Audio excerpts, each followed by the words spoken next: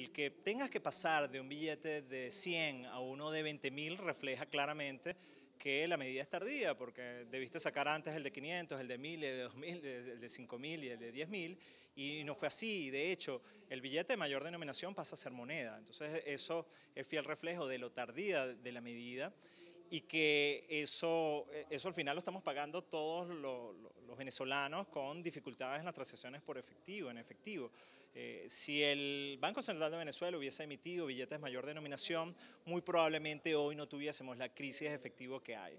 Eh, por ejemplo, un billete de 10 mil eh, compra lo mismo que 100 billetes de 100, entonces te, te estarías ahorrando bajo el cono monetario que está por salir la impresión de, 99 billetes. ¿no? Entonces es parte, parte de eso buena parte de, todo este problema que hay en efectivo se hubiese solucionado con la emisión de estos billetes muchos años atrás. Si no hubiésemos quitado esos, ceros, esos tres ceros, hoy el billete sería de 2 millones de, bolívares. Entonces, como para facilitar eh, los manejos desde el punto de vista también de, efectivo y también desde el punto de vista contable, hacer este tipo de operaciones es relativamente común. Entonces, e, esa es la razón.